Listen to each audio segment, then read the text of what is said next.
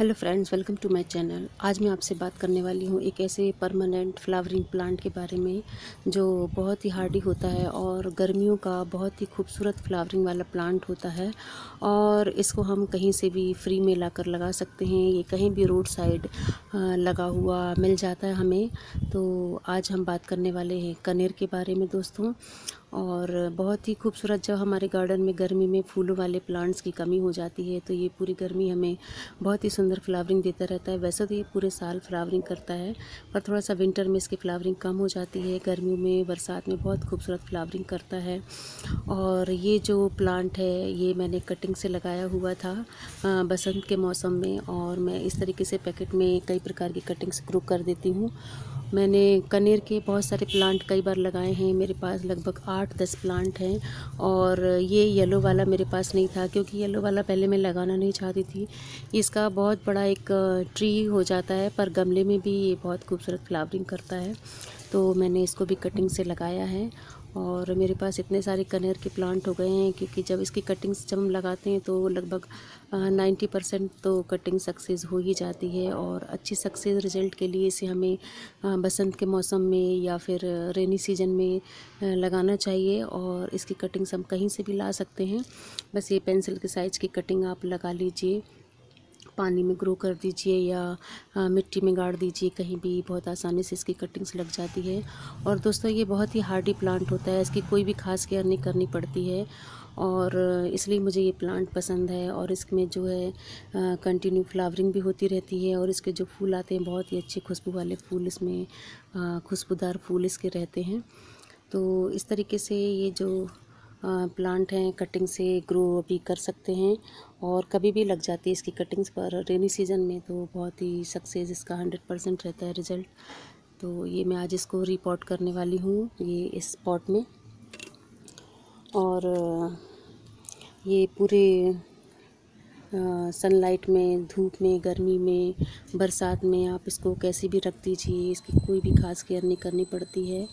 और ना ही इसमें कुछ वैसे खास कुछ अटैक होता है कीड़ों का। बस बहुत ही अच्छा चलता है अभी तक का मेरा एक्सपीरियंस जो है, मैं आपके साथ शेयर कर रही हूँ। ये वाला जो प्लांट है, ये थोड़ा सा बड़ा इसका होता है प्लांट और जो मेरे पास बाकी के और भी प्लांट रखे हैं, कई बार मैंने आपके साथ वीडियो में शेयर किया हुआ है।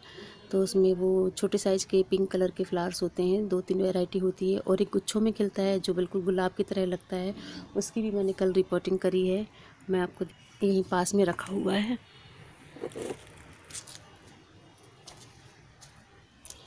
ये देखिए दोस्तों, मैंने इसको एक ये पानी के जो ऑयल का जो कैन होता है, उसमें मैंने लगा दिया है, क्योंकि ये पहले बड़े पॉट में लगा हुआ था। मैंने इसको कटिंग से लगाया था तो एक एक डंडी जा रही थी, फिर मैंने इसकी प्रूनिंग कर दी थी। देखिए कितनी सारी इसकी ब्रांच निकली हैं, पर वो गमला जो है टूट गया था तो मैंने इसको कल ही रिपोर्ट किया है इसमें। तो ये वाला जो प्लांट है इसकी देखिए थोड़ा पत्ती चौड़ी होती है। इसकी पत्तियों से हम पहचान कर सकते हैं, कुछ की बहुत डार्क कलर की होती है और जो अभी रिपोर्ट करने वाली हूँ उसकी पतली पतली पत्ती होती है पीले वाले की। उसमें एक वाइट कलर का भी आता है ऑफ़ वाइट सा रहता है, एकदम वाइट नहीं रहता है। और वाइट भी आता है, छोटी वेराइटी के फूल होते हैं उसके, बिल्कुल। तो ये गुच्छों में खिलने वाला है जो कनेर, वो वेराइटी है और बहुत प्यारी खुशबू आती है इसकी, बिल्कुल देसी कनेर है ये। और जब इसमें फ्लावरिंग होगी तो मैं आपके साथ शेयर करूँगी। मैंने इसको कल ही रिपोर्ट किया है। तो ये देखिए कटिंग कर दी थी मैंने, सब घना हो गया था और भी रखे हुए हैं।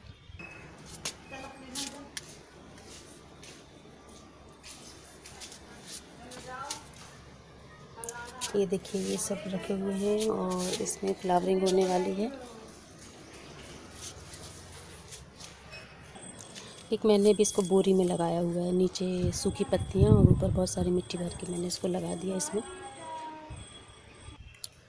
तो दोस्तों इसको हम रिपोर्ट करते हैं और इसको लगाने के लिए आप किसी भी प्रकार का पॉट ले सकते हैं। मैं ये खुद से बनाया हुआ मेरा सीमेंट का पॉट है। मैं ये खाली पड़ा था इसमें लगाने वाली हूँ और इसको आप ग्रो बैग में भी लगा सकते हैं प्लास्टिक के आ, किसी गमले में भी लगा सकते हैं। किसी प्रकार की सॉइल में ये लग जाता है। ऐसा कोई ज़रूरी नहीं कि इसके लिए बहुत वेल ड्रेन सॉइल हो पर हाँ जब हम लगाते हैं प्लांट तो आ, अच्छे से सब कुछ मिला के एक बार लगा देते हैं। तो ये देखिए, मैंने ये इसमें गोबर की खाद, मिट्टी और ये कुछ बोन मील थोड़ा सा फंजी साइड और ये ज़रा सा बिल्कुल इतना सा, एक चम्मच करीब ये पोटास मैंने इसमें डाला हुआ है। इससे जो है, फूलों का कलर बहुत ही अच्छा आता है, बहुत फ्लावरिंग इससे अच्छी होती है। तो ये इसका, ये मैंने ले लिया है और इसमें मैं अब इसको रिपोर्ट करने वाली हूँ।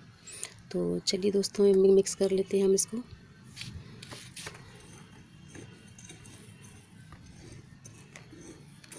इसके लिए आप वेल ड्रेन पॉट लें।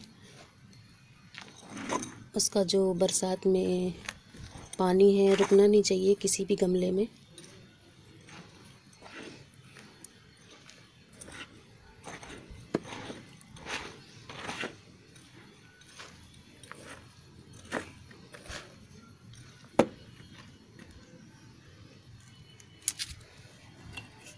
देखिए इसके गमले का ये होल मैंने बिल्कुल अच्छे से क्लीन कर लिया है और इसमें एक ये गमले का टुकड़ा रख देती हूँ मैं।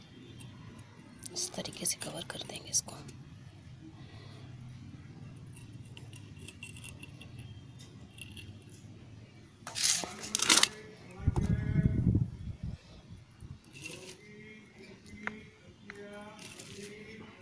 मैं इसको भर लूँ दोस्तों, फिर आपको दिखाती हूँ। ये मैंने इसको पैकेट से निकाल लिया है और इसको बस मैं इसी तरीके से लगा दूँगी। इसके चारों तरफ़ हम मिट्टी भर देंगे, इसको ज़्यादा डिस्टर्ब नहीं करते हैं।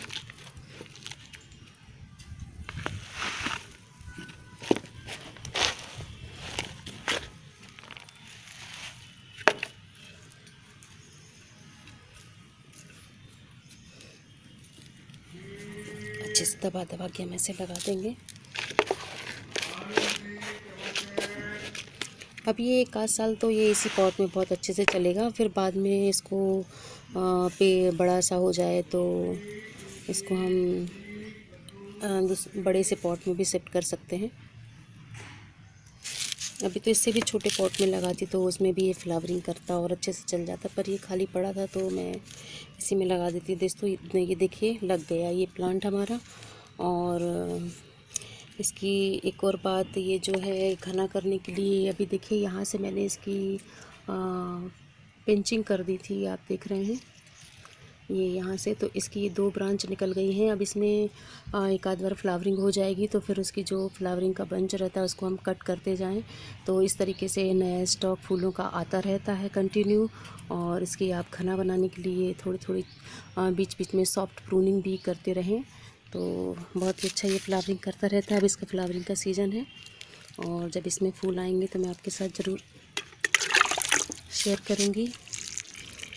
तो दोस्तों आप भी ज़रूर ये प्लांट जो है कहीं से भी लेकर आइए आपको कहीं भी लगा मिल जाएगा और ज़रूर लगाइए अपने गार्डन में क्योंकि ये प्लांट मुझे इसलिए पसंद है ये हो गया बोगनविलिया हो गया एस्पेरिगस हो गया क्योंकि ये आ, कोई ख़ास केयर नहीं करनी पड़ती कभी हमें कहीं जाना हो तो भी ये कई दिन तक प्लांट जो है आ, बिना पानी के रह जाते हैं ऐसे कुछ मरते नहीं हैं क्योंकि अपने अंदर प्लांट भी आ, पानी भी ये प्लांट जो है पानी स्टोर कर लेता है और बहुत हार्डी प्लांट होता है, ज़रूर आप इसको लगाएँ।